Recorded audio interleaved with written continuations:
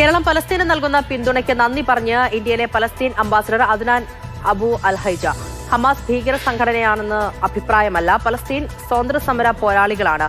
October ഏഴിന് ഇസ്രായേലിനെതിരെ Hamas നടത്തിയ ആക്രമണത്തിന് കാരണങ്ങളുണ്ടായിരുന്നു. പലസ്തീനികളുടെ അവകാശങ്ങൾക്ക് നേരെ ഇസ്രായേൽ കടന്നാക്രമണം നടത്തിയതുകൊണ്ടാണ് തിരിച്ചടിയുണ്ടായതെന്നും പലസ്തീൻ അംബാസിഡർ പറഞ്ഞു.